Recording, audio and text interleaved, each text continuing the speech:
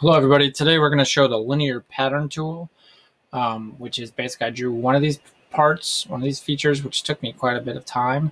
And then after I did that, I could just push them across all the way through.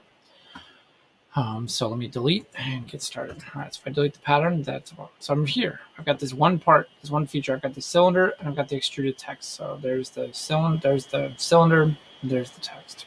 All right, so if I want to do the feature pattern, um, it works like this. It's this tool right here. Um, and I pull down and I can linear pattern, a circular pattern, or curve pattern. So I'm going to show the linear pattern right now. So click on that. And then, you know, the trickiest part is this part pattern right here. When I we're, we actually have two parts. We're doing the part and we're doing the wash and the cylinder. So we're going to change this to feature pattern. And then feature pattern, I have to go and select what I want. And actually I can come over here and I can say I want that feature I want that feature. So I'm using my feature menu here to kind of select what features I my pattern. And then the second thing I do is pick the directions. I go in the direction box and I just pick a direction. So I can pick on this direction or this direction.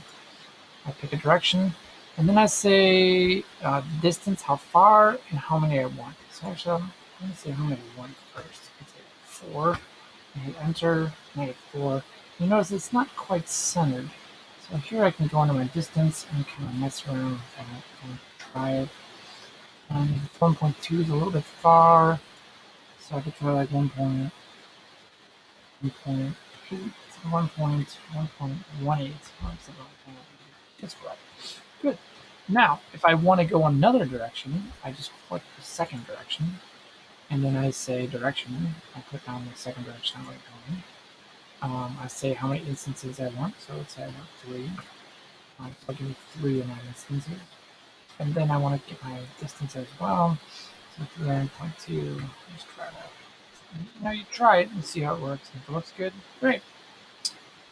Um, that's it you say check, and that's the that's the linear pattern tool.